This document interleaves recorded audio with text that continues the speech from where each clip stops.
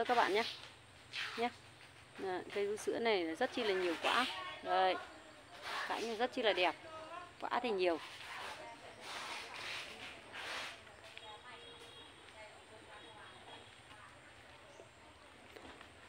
Còn đây là cái hoa giấy các bạn.